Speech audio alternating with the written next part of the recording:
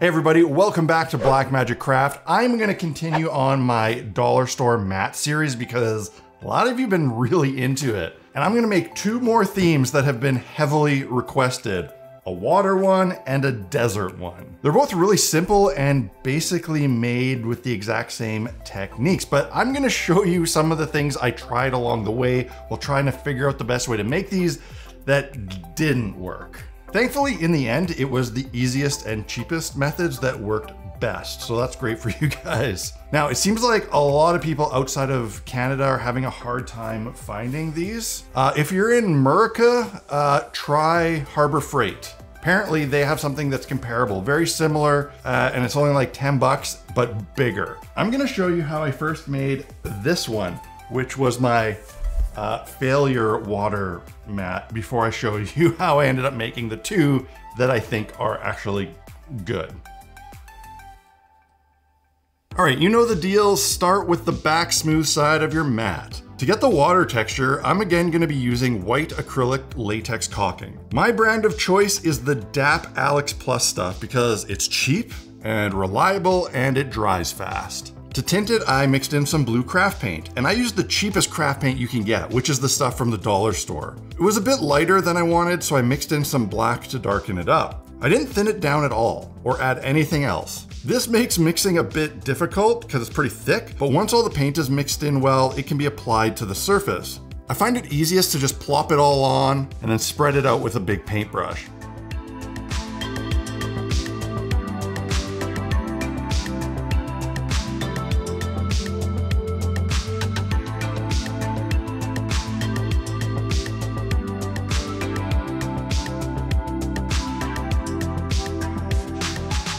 Get rid of the brush strokes and even things out, and to get a bit of a ripply water texture, I used a paint roller with a long nap.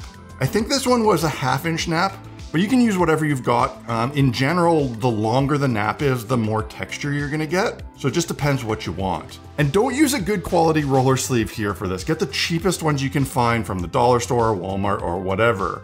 The trick to this is finishing it off with a final pass of the roller all in the same direction. I experimented using some plastic cling wrap to see if it would give a more interesting texture, but I didn't like it. There's no point messing around with it further, the roller is just best. When it dried, I had the brilliant idea of applying a clear glossy coating to make it look wet, make it look shiny like water. I bought the clearest caulking I could find, and it was a kind of expensive one. This one was silicone, and I knew as soon as I started squeezing it out that I had made a very bad choice. This particular one was very thick. I knew it was gonna be tough to spread out, but it was an expensive tube and I had already opened it, so I belligerently went forward and continued to use it. Now, I attempted to make the silicone less viscous by warming it in some hot water but it seemed to have no effect. If anything, I think it made it worse, like it jump started the curing process. Now, I knew I should just stop at this point, that this probably wouldn't work, but I wanted to see what would happen, and I was hoping maybe it would just work out. And since these mats are so cheap and doing the first like latex step is so easy, I figured, well, if it doesn't work out, I can just make another one. I spread it out as best I could, uh, but it was a nightmare. It was so sticky. I even kept breaking tongue depressors trying to spread it out. Also, this stuff had one of the strongest eye-burning alcohol smells I have ever encountered with uh, silicone before. Often they smell vinegary. Not this one. It just had that like your house is gonna explode if there is a single spark type off-gassing that was truly horrible and required a ton of ventilation in the shop. Because it had such a strong alcohol odor, it made me think the solvent in it was isopropyl alcohol, and that maybe I could use isopropyl alcohol to thin it out. Well, let's just say that didn't work. All it did was make the silicone less sticky and create a sort of slime putty.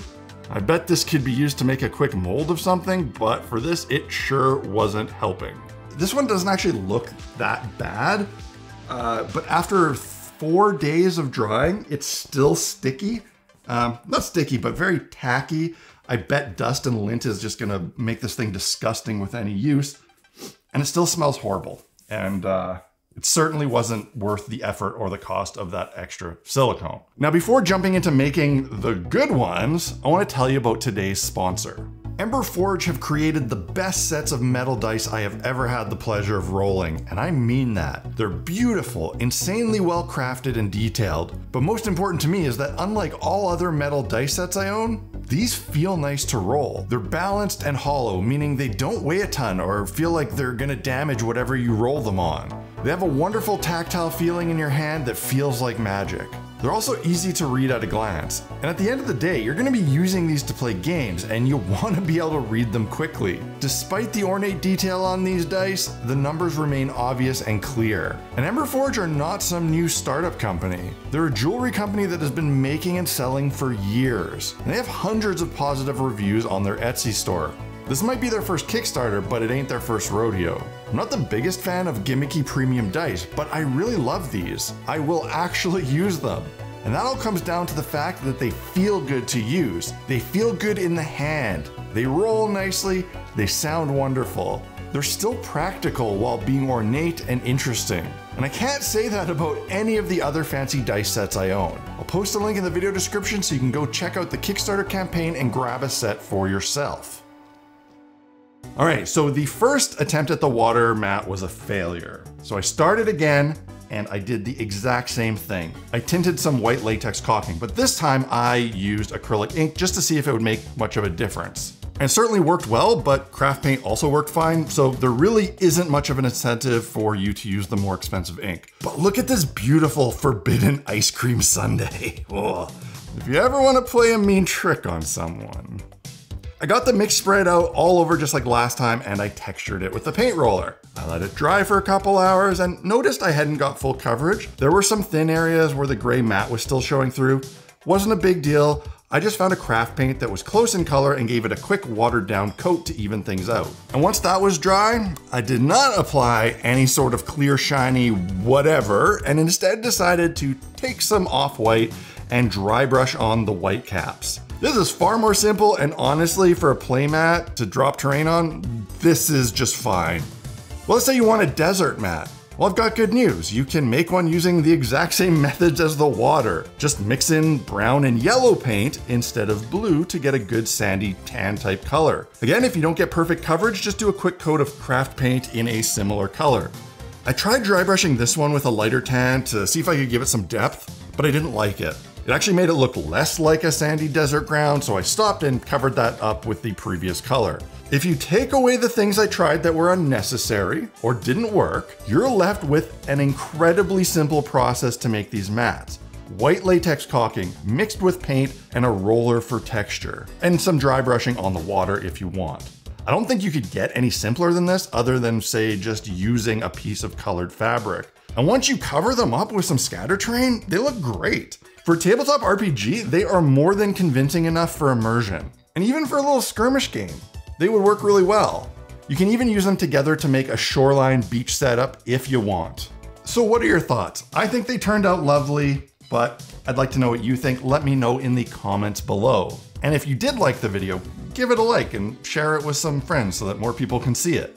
Now, should I keep on making more of these mats? Or is this idea now played out? Are we done? I don't know. There's a couple more themes that I think would be really cool. But you let me know if you want to see more and if you have any more special requests. Because I'm enjoying making these. As always, if you want to pick up some hobby tools or supplies and support the channel in the process, you can do so by shopping through blackmagiccraft.ca. On my essential equipment page, I have links to a lot of the stuff I use regularly, and shopping through those links helps fund the production of these videos. If you really want to help me out in a major way, the best way you can do that is by supporting the channel on Patreon. That's it, that's all. Cheers. See you next time.